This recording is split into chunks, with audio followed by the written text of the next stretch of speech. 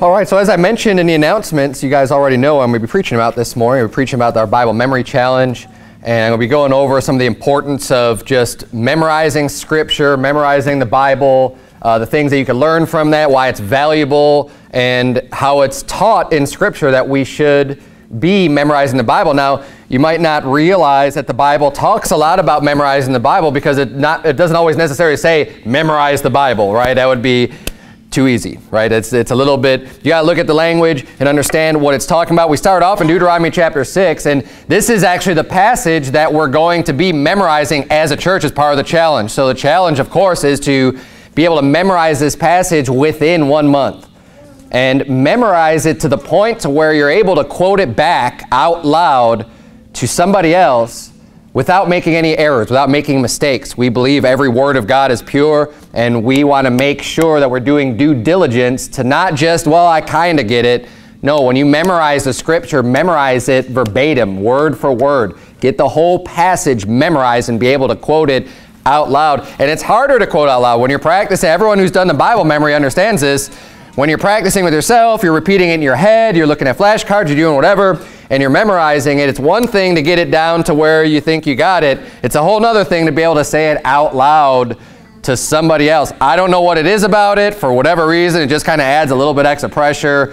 And then it's, it's even harder to get up behind a pulpit in front of a whole group of people and be able to quote all those passages. But uh, you, thankfully, you don't have to do that. I'm not going to make everybody get up and quote Deuteronomy chapter 6 to prove to everybody that you did it, but I am asking you to quote out loud to at least one person. So why Deuteronomy chapter 6? Well, in Deuteronomy chapter 6, we see here the first and the great commandment. And we're going to look at, start reading in verse number four. This is actually quoted in the New Testament when Jesus Christ is asked, hey, what's the, you know, what's the great commandment? He says, you know, the first and great commandment is, and then he quotes Deuteronomy 6, verse number 4. He starts in verse number 4. Hear, O Israel, the Lord our God is one Lord.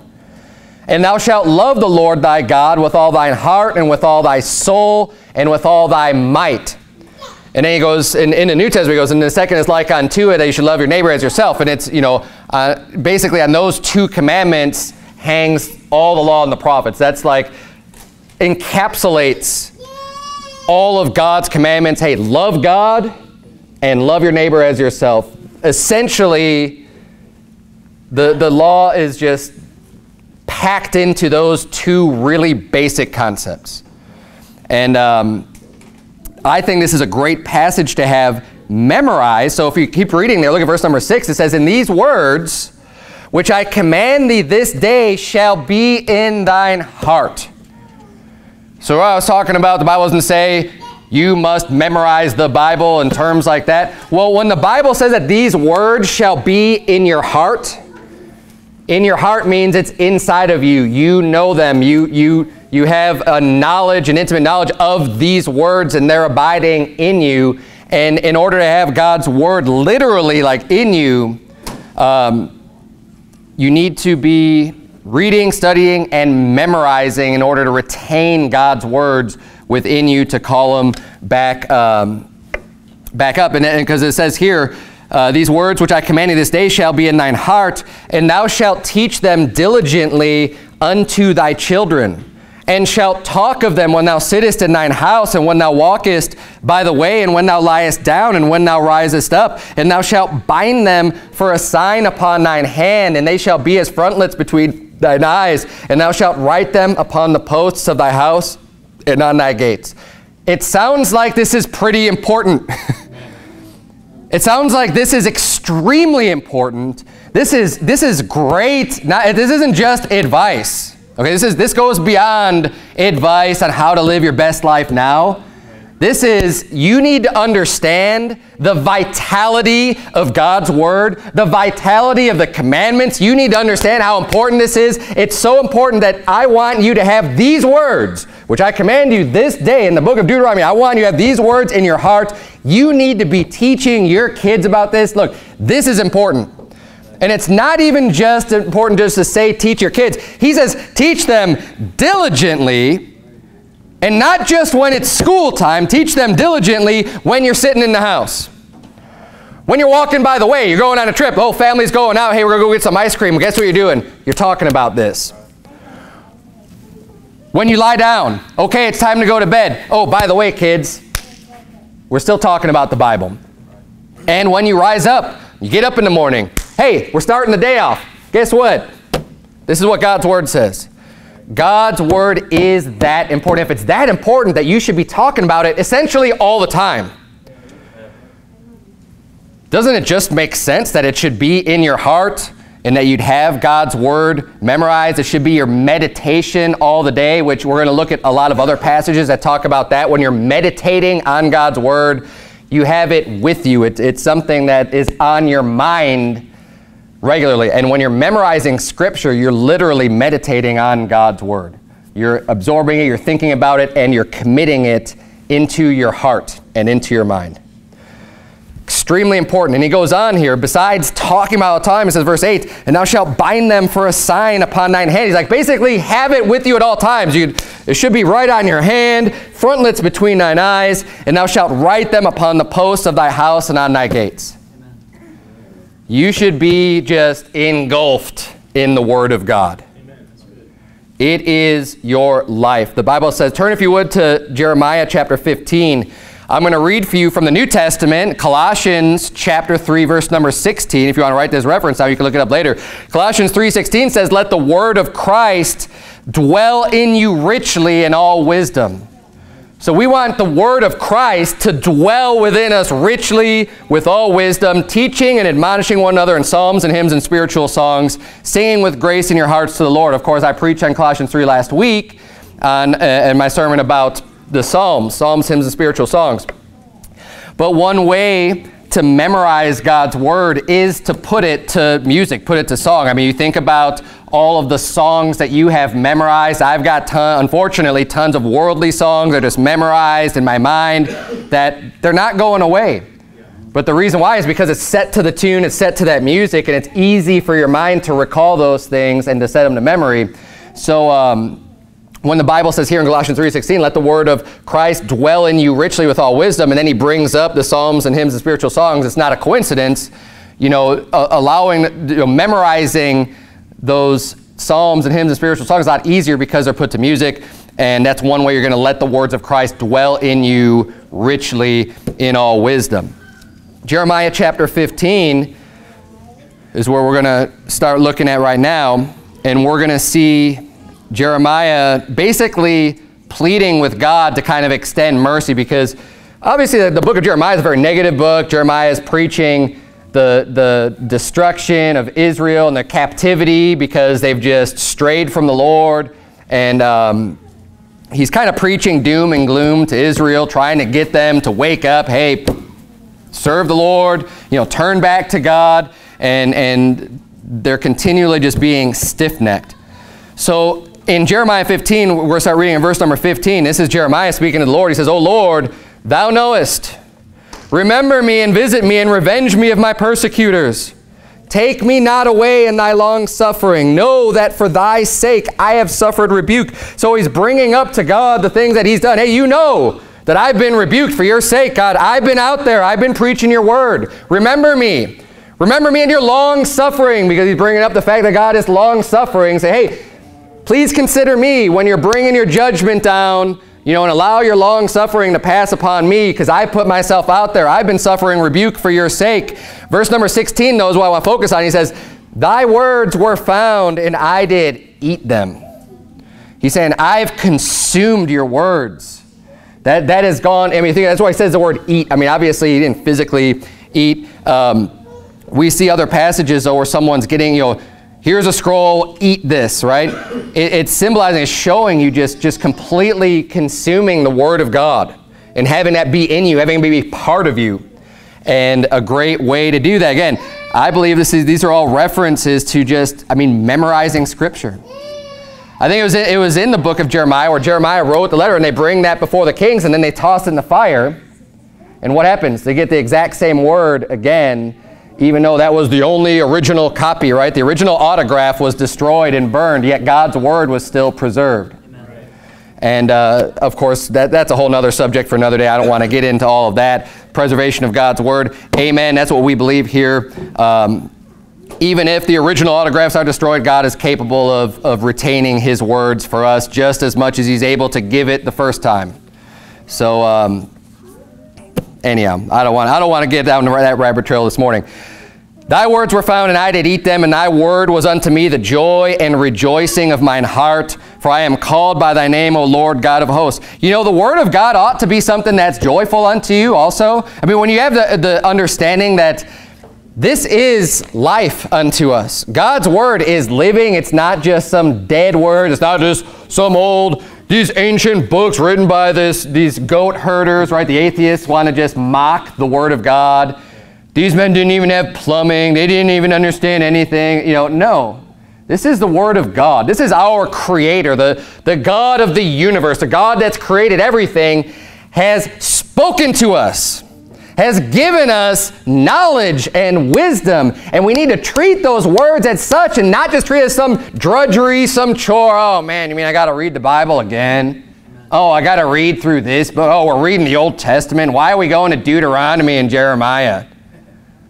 I just want to read the Psalms and the New Testament. Look, all of God's words are pure the, the, the, the law is like is a light to us to lighten our path. And when you understand just the, the amount of wisdom and how much your life is benefited by being able to get the word of the Lord, understand the word of the Lord, and apply the word of the Lord in your life, it is, I mean, this is going to make or break your life whether or not you can get these truths and this understanding. And when you when you can treat this as such, that's why all throughout Scripture you read the Proverbs, you read everything. Look, this is way more valuable than rubies and silver and gold and all those riches that you could you could waste on the, the lusts of your flesh and live into some real comfortable life that's going to end up making you miserable and destroying you anyways. Because riches are just vain and deceitful if you understand the value of these words in this book, man, it should be a joyful thing. And you know what? You may not realize this now, and the younger you are, it may be harder for you to understand what I'm even talking about. But the older you get, and the more experience you get, and, and, and the more mistakes you've made in your life, you can look back and be like, man, I wish I would have just read more and understood more and got it in my heart more to help me to not make those foolish mistakes because the Bible has all the answers and it told you how to do it right the first time. Amen. And I'm going to be preaching a sermon tonight directed mostly at children. So hopefully any children here today, if your families, you know, talk your parents into coming back tonight because I've got a really important message for you this evening. Um, and, and this is important. And it's hard to, to relate that sometimes. But you have to take it on faith that God, this is God's word. And our Creator gave us instructions, and He wants us. He wants us to do right. He wants us to have fulfilling lives. He wants us to experience the joy of the fruits of the Spirit. But it's up to you to choose whether or not you're going to do it. How important is it to you? All, everything you need is right here, but how important is it really to you? Is it as important as that TV program you want to go home and turn on and watch on your DVR and spend, you know, hours binge watching? Is it, is it as important as that? Yeah, that's a lot of fun. You get some entertainment out of that, but here today, gone tomorrow. Put some importance on the eternal Word of God. These words are timeless. The message is timeless. It doesn't matter what culture we live in, God's word rings true over and over and over and over and over again. This should be our guide. Get them in your heart. Put a priority, put an emphasis on that. Say, you know what? It's not just enough to read. A lot of Christians think, well, I've read the Bible. Well, now, a lot of Christians haven't even read the Bible cover to cover one time. And if that's you, and you've been saved for a while, you, you, didn't just get saved a few days ago or last week or last year. Look, if that's you, then shame on you. Get in God's Word. Don't just be spoon fed every little thing from whatever church you're going to. Pick up the book, read it for yourself, consume it, and let it dwell in your heart richly. And if you have read the Bible once, cover to cover, great. Don't stop there. This is something we need regularly. It's easy to forget things. We need to hear from God continually.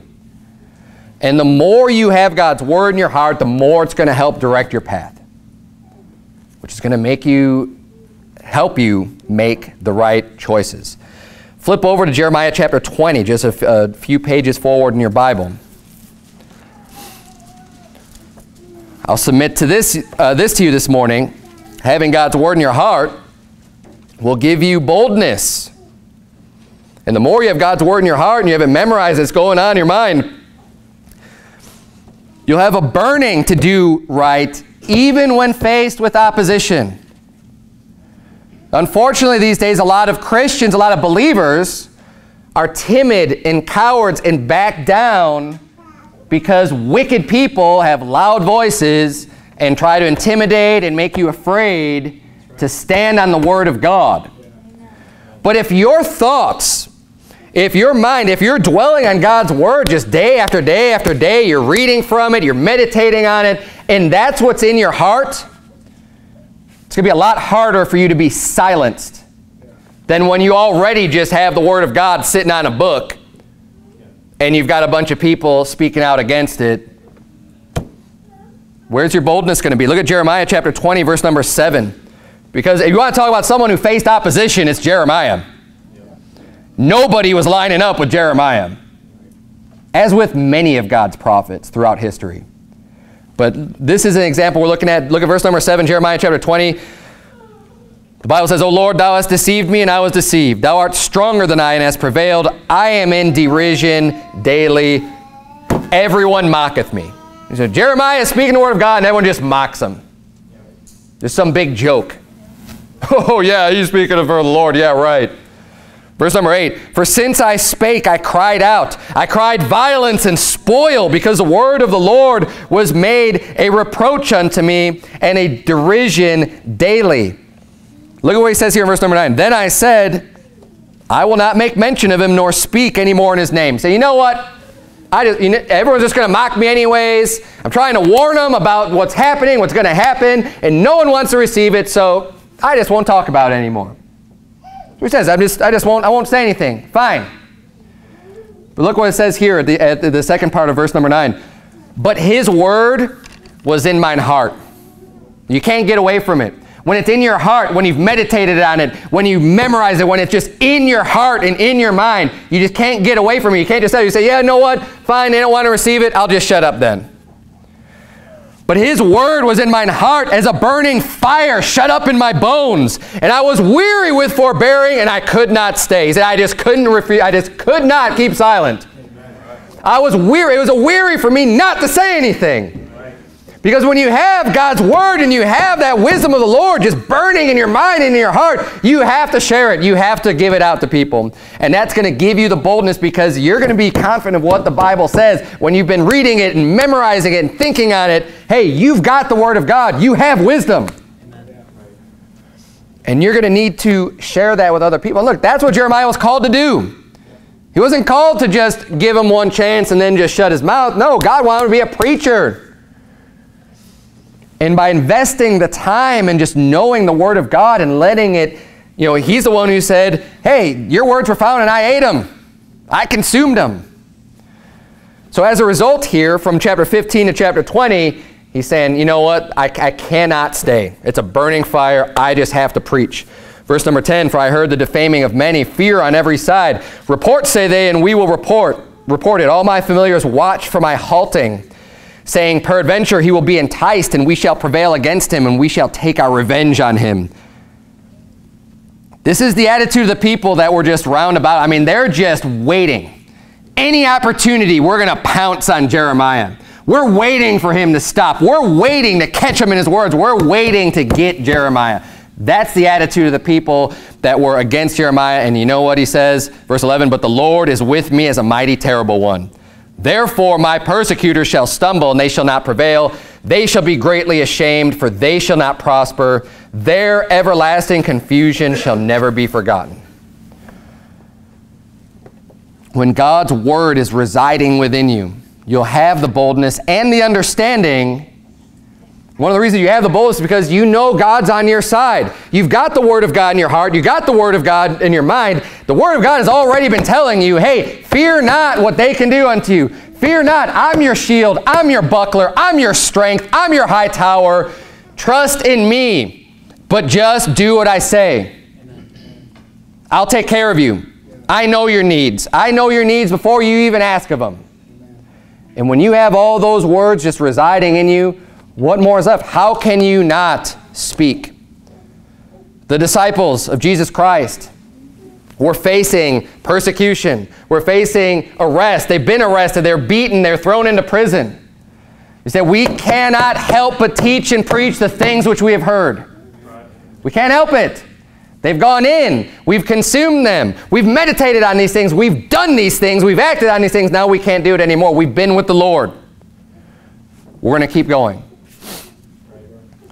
Turn to um, Deuteronomy chapter 30. Deuteronomy chapter 30. I'm going to read for you from Psalm 119. We're going to go there in a minute also. But in regards to you know having the boldness because you have God's word just living in you, residing in you, because you have it in you. You've memorized it. Psalm 119 verse 23 says, Princes also did sit and speak against me, but thy servant did meditate in thy statutes. Thy testimonies also are my delight and my counselors. So you're saying, hey, I've had, I've had people in high power, princes, speaking against me. But you know what I did? I meditated in your statutes, in the, in the statutes of the law of God. I was meditating on that. That's where I get my instruction from. So you know what? I don't care if the princes are going to speak against me. I don't care if the most powerful, wicked people in the world are going to speak against me when I have God's word in my heart.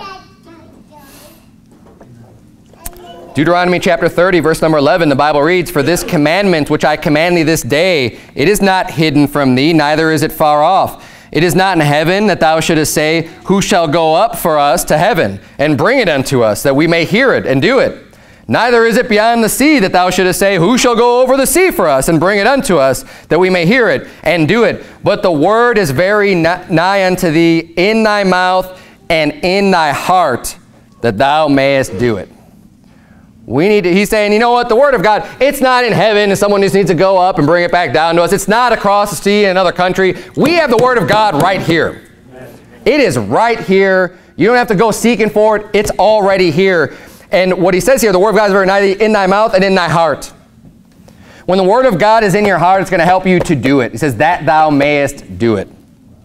We need to get the Word of God within us to help us to do it. We have a daily struggle against the flesh. The spirit warreth against the flesh, and the flesh against the spirit. So you cannot do the things that you would. Well, when you let the Word of God dwell in you richly, when, when you have the Word of God in your heart, that's going to help strengthen your spirit to overcome that flesh. It's going to help you to do that.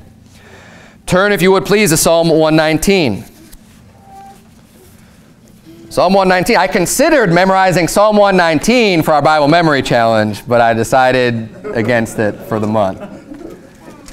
We may lump two months together and do it. I don't know, but I decided let's just see how they do with, with Deuteronomy 6. Maybe next year we'll, we'll, we'll dig into Psalm 119. A great passage. Psalm 119, all about God's law. The biggest chapter, Psalm 119, the longest psalm, the longest chapter in the entire Bible, glorifying the law of the Lord, the commandments, His precepts, just, just exalting God's commandments. Amen. Great psalm. And coincidentally enough, or not coincidentally enough, we're going to see a lot about meditating and memorizing God's word, God's laws even You say, but we're in the New Testament. Why do we have to memorize? Look, Jesus Christ said, I'm not come to destroy the law, but to fulfill. He says, till, till, till heaven and earth pass, there should not one jot or one tittle fail from the law until all be fulfilled. And I just preached on a few weeks ago. Has everything been fulfilled yet? No. We still need, look, we're not saved by the law. The law doesn't save our soul. The law shows us we're sinners. Jesus Christ saves our soul. We put our trust in Him, He'll save us. But He still wants us to obey His commandments. He still wants us to not sin. What shall we say then? Shall we continue in sin that grace may abound? God forbid! Romans 5 teaches us that, hey, where sin abounds, grace does much more abound. Amen. The work that Jesus did is enough to cover all sin, but does that mean we just continue sinning? Of course not. Well, then what's going to keep us? How do we know if we're sinning? God's law. That's what tells us whether or not we're sinning. It's, it's a very easy concept. It really is. It really is simple. But people who just don't have any regard for God's word ultimately are the ones that want to throw away God's word. Just say, oh, we don't, we don't need that Old Testament stuff. We don't need to look at that law. It's foolishness. Right. Foolishness. You're only going to bring yourself into a world of hurt. That, I mean, at the end of the day, you could be saved and have that attitude. A lot of saved people have that attitude. Doesn't mean you're not a child, but as a child, guess what? God's going to be disciplining you when you're not listening to Him. You're not doing what He's telling you to do. Look at Jonah. Jonah was a child of God. He didn't want to do what God told him to do. He got thrown overboard from a ship and, and swallowed up by a great whale and spent three days and three nights in the belly of a whale. That's not, you know, it's a cool story. and they might make cartoons about it that look really cool, but I guarantee you it was not as pleasant as the cartoon makes it out to be. He wasn't floating on some raft, you know, with a, with a candle lit in, in, this, in this whale's belly and just kind of waiting for a few days. I don't want to get, I mean, just think about what whales eat and just all the half-digested food and stuff that he had to be floating around in. Yeah, not good. And he was vomiting it up out on the beach. So that's what happens to God's children when you disobey him. And, you know, he had to change his heart after that. he decided to go and do what God told him to do. Let's love God's commandments, His law. They should be our delight. They should, they, they're, they're light to lighten our path. Psalm, I you turn to, uh, where, where chapter? Did we go through Deuteronomy chapter 30? We did, right? We're on Psalm 119. All right, look at verse number 9 in Psalm 119.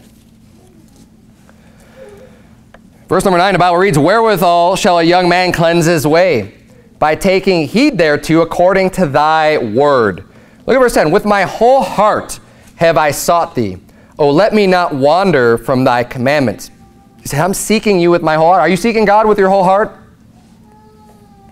Are you, are you trying to find out God and, and seeking with your whole heart? He's saying, Oh, let me not wander from thy commandments. Look at verse number 11. Thy word have I hid in mine heart that I might not sin against thee hiding God's word in your heart. This isn't just like hiding a Bible in your pocket. It's going one step further than that. You're hiding God's word in your heart. This is memorizing God's word. This is taking the word of God and say, I'm going to hide this word in my heart. No one can take, you know what? No one can take God's word from you when it's hidden in your heart. You may, as the disciples have been, cast into prison for preaching the gospel. Now, it's not really happening very much today, but I believe it's going to come. I mean, I know it's going to come. It's not just, it may come. No, it is coming. The Bible talks about great tribulation. It talks about Christians being persecuted. All throughout history, it's happened. It's going to happen here too. It's just a matter of time.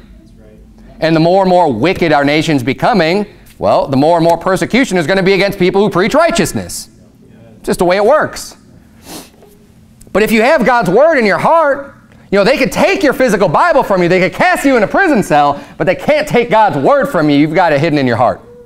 That's one place they can't get to. And if you have God's word hidden in your heart, he says, that I might not sin against thee. One of the benefits, one of the great things about memorizing Scripture, memorizing God's word, is that when you reach different crossroads in your life and you're making certain decisions and you're thinking about what I should do here, you'll have God's Word coming back to you. All the relevant passages. What should I do here? You pray to God, God, what should I do? And you've memorized God's Word. It's so much easier oh, well, the Bible says this here. Okay, well, I'm going to I'm going to do this. We have crossroads probably more often than you realize in your life. They don't seem like crossroads at the time, but you can look back and be like, wow, I didn't realize all the ramifications of, of that, of that event in my life, and how my entire future is just completely changed because of some event that didn't really seem like that big of a deal at the time. Yet it was still a decision. It was still a point where you, you need to decide to do something. You have God's word hidden in your heart this is going to help you not to sin. It's going to help you to have wisdom to make the right choices. Let's keep reading here in Psalm 119. Look at verse number 12. Blessed art thou, O Lord. Teach me thy statutes. With my lips have I declared all the judgments of, my, of thy mouth. I have rejoiced in the way of thy testimonies as much as in all riches. I will meditate in thy precepts and have respect unto thy ways. So this goes back to having, you know, meditating on, you know, his precepts, his teachings, his law, okay? Meditating on it and having respect to it. It's one thing to just read the Bible. It's another thing having the respect of God's Word. And, and this is valuable. This is really important. This is not just checking off a box like, well, I checked off the box, I went to church today. Well, I checked off the box, I prayed today. Well, I checked off the box, I read the Bible today. But it's empty. Have respect unto God's Word. Meditate on it. Consume it as, as your life depending on it. Verse number 16. I will delight myself in thy statutes. I will not forget thy word. Again, how are you going to not forget God's word? How about committing it to memory? That is a surefire way not to forget God's word. Jump down to verse number 97. Memorizing scripture will make you wise. So we already saw in the last passage, it's going to help you not to sin. I meditate on your word so I don't sin, so I won't sin against thee. And here's a great way if you want to show someone else the understanding or the, the importance, excuse me, of, of memorizing Scripture. Remember Psalm 1, and especially memorizing and just having so much value in God's law that you're meditating on, you're memorizing it. Psalm 119, if your Bible has the, the subdivisions of Psalm 119, there's all the different letters. An easy way to remember this, to just turn to this quickly, is this one is mem. So you just think of it just being short for memory or memorize, right? It's an easy passage to go back to because this whole this whole section of Psalm 119 is just filled with with concepts of memorizing scripture. So look at verse number 97, Psalm 119, 97. Oh, how love I thy law. It is my meditation all the day. See, why do you preach on the law so much? Well, I love God's law. And you know what? It should be my meditation all the day.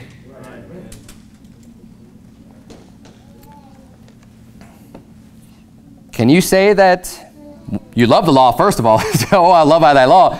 You ought to if you don't. It's good for you. Not anything bad for you. I had a false concept a long time ago, right? Just before I got saved and even newly saved of just, you know, kind of thinking like, well, if I have to, to you know, obey God's commandments and I can't, you know, I, there's some things that are just, I, I just can't do that are fun. It's kind of taking the fun away, right? You know, the mindset they're talking about someone, someone who basically is just kind of giving themselves over unto fleshly lusts and desires like drinking, like doing drugs, like fornicating, or whatever. Say, oh, well, I know God's got rules against all that stuff, so I guess I can't really have any fun anymore. But what a foolish, what a foolish thought that is. I was a fool to ever think any such things because giving yourselves to that stuff is going to destroy you. All of those things. The reason why God gives you the commandments is not so that you can't have any fun.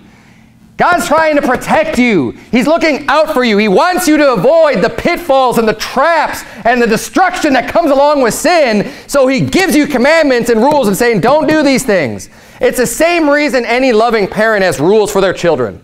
I don't want to see my children go off and have a worthless life, have a meaningless life, destroy their lives, live in misery, live in sorrow, make all kinds of bad choices that are just going to stay with them for the rest of their life. So I give them rules. I don't want my children getting hurt. I don't want them getting hit by a car in the street, so I give them rules, right? All these different things you give rules for your children for because you love them and you're trying to look out for them and protect them.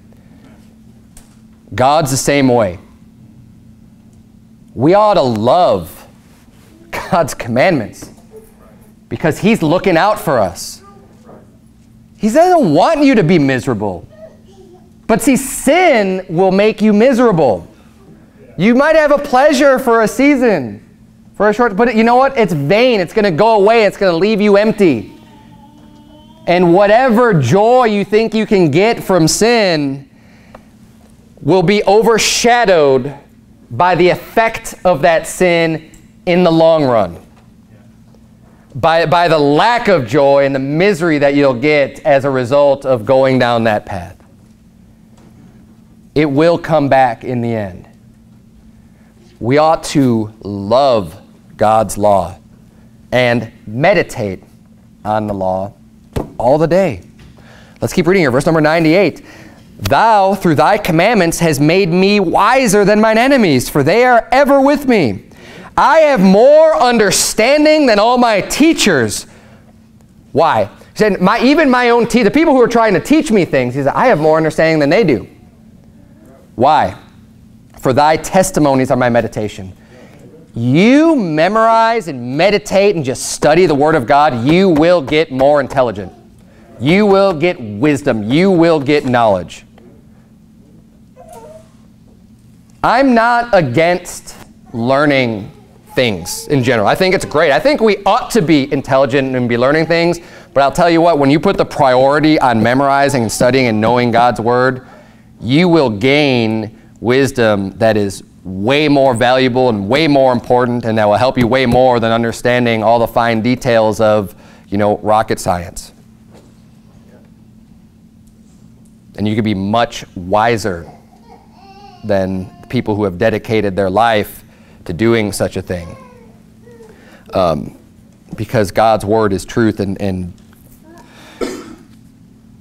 this is what the Bible's teaching here. Let's keep reading here. Verse number 100. I understand more than the ancients because I keep thy precepts.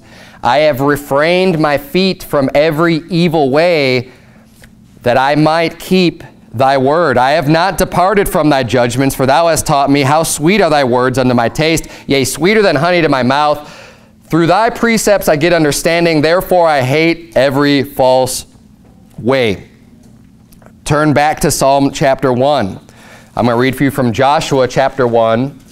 Joshua 1 8 says, The book of the law shall not depart out of thy mouth, but thou shalt meditate therein day and night that thou mayest observe to do according to all that is written therein. For then thou shalt make thy way prosperous, and then thou shalt have good success. Do you want to be prosperous? Do you want to have success? Meditate in God's word day and night. That's what Joshua 1 says. Are we seeing a theme here? Meditate in my word day and night. Love the law. Make that your focus. Make that part of you. Let that dwell in you richly. Psalm 1, look at verse number 1. Blessed is the man that walketh not in the counsel of the ungodly, nor standeth in the way of sinners, nor sitteth in the seat of the scornful, but his delight is in the law of the Lord, and in his law doth he meditate day and night. Amen. That's why I make this point, because I don't think I've made it to this point, to this point of sermon meditating on God's Word is not the same as reading God's Word. I believe we ought to read God's Word. I'm not saying we shouldn't read. It's important to read. You get some understanding. You're going to understand and, and get to know the, the stories, the teachings as you read God's Word. But that's separate from meditating on God's Word. Because when you meditate on God's Word, you're, you're taking smaller chunks. You're kind of thinking about things and, and chewing on them and really processing what's going on. When you read, yeah, you're processing, but you're continuing to move forward. When you're meditating on something, you've got it parked for a while. You're meditating on God's Word. You're meditating God's law. And that's one, the, you know, when you memorize Scripture, you are meditating on it because you're going over the same verse over and over and over again. And I challenge you, if you haven't really done Bible memory, take me up on the challenge this month. Whatever the prize is that we're going to give away for, for completing the challenge is going to pale in comparison to how much you will gain more understanding from memorizing the Scripture. Uh, every single passage I've ever committed to memory, I've always learned more that I never understood before, things I hadn't seen before, because I've meditated on the scriptures, because I've committed them to my heart every time without fail. Every single time I me I've memorized scripture, it always happens. And I see a lot of nodding, so apparently I'm not alone in this. Take up the challenge. You know what? Prove me wrong. I don't think, I don't think it can be proven wrong. I have enough scriptures here telling me, hey, if you're meditating and you got respect unto God's word, you're gonna you're gonna receive the wisdom. You're gonna get this. Ask to God who giveth liberally and upbraideth not. You want wisdom, you want understanding? Meditate on God's word. He'll give it to you. He'll open up to you.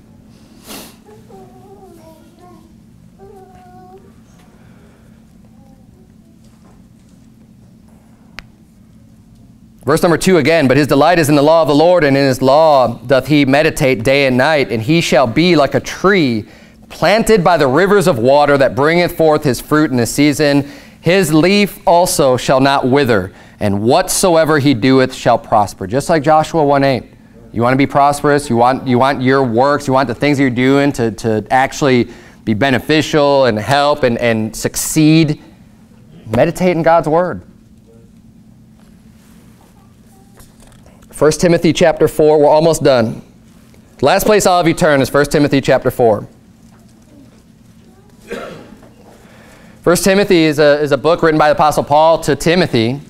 Timothy's a younger preacher, is a man of God, and he's got, he's got his own mission to, to do to serve the Lord. And near the end of the epistle here, the Apostle Paul is writing unto Timothy, and uh, he's going to tell him to meditate on the Word of God and to, to give it the importance that it deserves. Look at verse number 13, 1 Timothy chapter 4, verse 13. Till I come, give attendance to reading, to exhortation, to doctrine. Neglect not the gift that is in thee, which was given thee by prophecy with the laying on of the hands of the presbytery, Meditate upon these things, give thyself wholly to them. He said, meditate on it and just give yourself completely to the reading and the doctrine and the exhortation and the word of God, that thy profiting may appear to all. Wow, there's the word again. Profiting, prosperous. All from meditating on Scripture, memorizing God's word, putting it in your heart. Verse 16, take heed unto thyself and unto the doctrine, continue in them, for in doing this thou shalt both save thyself and them that hear thee. Let God's word dwell in you richly. Let the word of Christ dwell in you richly. Now to complete this challenge and to just memorize Scripture in general, you need to put forth effort. It's not, it's not going to come easily. You may need to stay up late. You may need to get up early. You may need to cut out some parts of your life that you're normally used to doing that are just kind of a waste of time. And these are things, if, you, you know, if you've been following along with our church, especially if you're visiting, we've been doing this since January. We do a, a new challenge every single month. And one of the challenges was literally to just try to get something out of your life and not reintroduce it at the end of the month. Just, just change your schedule, change your routine to allow more time to serve God in, in various capacities. We've been focusing this month on taking your time to make sure you're going out and trying to reach people with the gospel of Christ every day. I mean, my normal routine some, there's many days where I go to work and I come back home and I don't really have interaction with anybody. That's just my normal schedule. But when you're challenging yourself to do something, you say, you know what, this is important. I'm going to make sure I do this every single day this month. You're going to have to go out of your routine, out of your comfort zone. You have to do things that you might not normally do to push yourself to do more. And that's what we're trying to do. You should never just get comfortable in your Christian life. Because when you allow yourself, and look, I'm, I'm all for having routines and having good schedules and, and, and, and you know, Im implementing Bible reading and prayer and all these other things. We do that at home. I do that as part of my schedule. There's things I just do because they're part of my schedule. But when you allow yourself to just get kind of, I call it stuck or just, or just complacent and just fall into a routine and just fall into a habit and you're not pushing yourself to do more, what ends up happening is that opens up the door for backsliding. If you're not moving forward, you're going to slowly start moving backward. So I want to challenge you. Push yourself, even in just in this one area, for this next month, push yourself to get God's word in your heart. Realize the value of, you, of it. Treat the Word of God with such importance, you say, you know what, I'm going to commit this to memory. And in the spirit of this, of this challenge, let's say you, you go, for whatever reason, I, I, think everybody can do this and complete this challenge. It's not something that is undoable. You just, you have to work at it, but this is by no means unattainable. This is attainable by everybody, but it requires effort. Okay? And it's going to require daily effort. You may be able to get away with a day or two of not doing it, but you, you need to be investing time in, in being able to commit these verses to, to get the entire chapter within these 30 days. You have to commit to that. But if for any reason you just get overwhelmed, look, pick another passage. I don't care what you pick. Go along with the spirit of this challenge and challenge yourself to memorization. If you've never memorized anything before and you're daunted by this task and, and you say, I can't do that, look, you can do it. But at the very least, choose something and memorize it. Okay, that's what I want you to do. I want to push you to do that. Get a little bit uncomfortable and say, you know, I'm not good with Bible memory. Learn some, just, just do it. Focus on that this month. Don't forsake other things that you normally do for God, but, but let's add this. Psalm 119, verse 148, you have to turn, the Bible reads, Mine eyes prevent the night watches, that I might meditate in thy word. It's talking about staying up late. My eyes prevent it. I'm not, I'm not closing my eyes. The night watch, the night watchman's coming on board. Well, I'm still up. Why? Because I want to meditate in God's word. It's quiet. House is quiet, everyone's asleep, and I'm up meditating in God's Word. Because it's worth it. It's worth it to forego different things in your life, a little bit of sleep here, a little bit of sleep there, whatever. Let's, let's put that value on God's Word and let it dwell in you richly. Let's bow our heads have a word of prayer.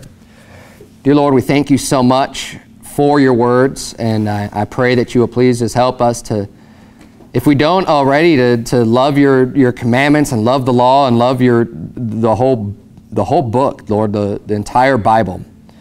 And um, help us to commit these, uh, these truths to our heart. Lord, help us to, to put the priority on it this month. And, and God, teach us and open up our understanding and our wisdom.